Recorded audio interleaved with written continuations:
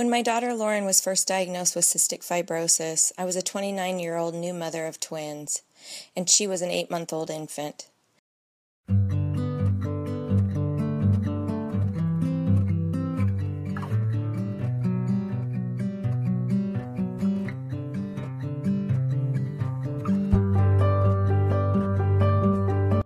Initially hearing the diagnosis, I was relieved because I knew something was wrong prior to our diagnosis, the way that a mom just knows.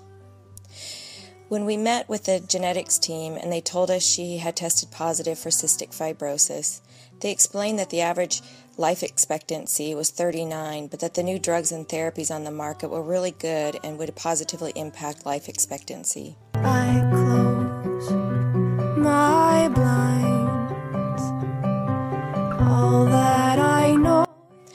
After that, I didn't hear anything else. Were they kidding? I was supposed to be happy about that? It wasn't long before relief turned into grief. I had been suffering from postpartum depression after having Lauren and her twin brother, so the news of her diagnosis sent me further into depression. I felt overwhelming sadness and grief over the possibility of outliving my daughter. I grieved the loss of what I had pictured my life was supposed to be with a daughter.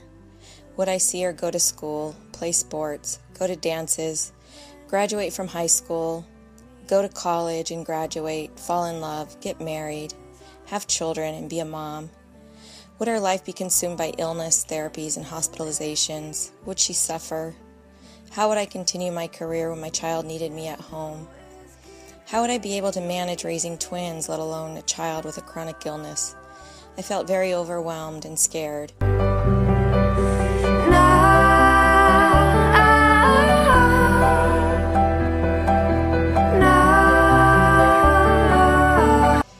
Grieve in different ways.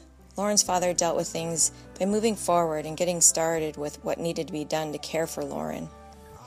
This created tension in our relationship because I couldn't understand why he wasn't devastated, he wasn't sobbing and crying.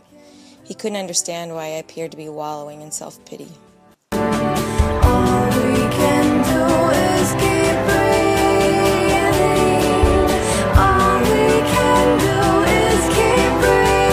We quickly rallied as a family to ensure Lauren had the care she needed to be healthy. I eventually joined a support group at the local CF Center where Lauren received her care. It was nice to know I wasn't alone and